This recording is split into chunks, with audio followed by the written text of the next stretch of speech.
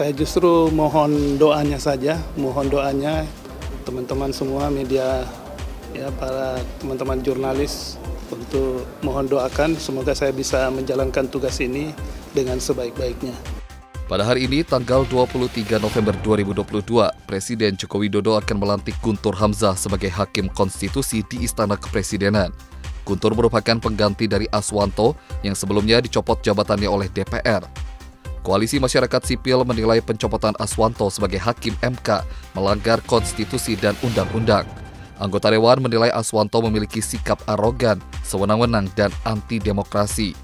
Sebelum menjabat sebagai Sekjen MK, Guntur sempat menjabat sebagai Kepala Pusat Pendidikan Pancasila dan Konstitusi MK.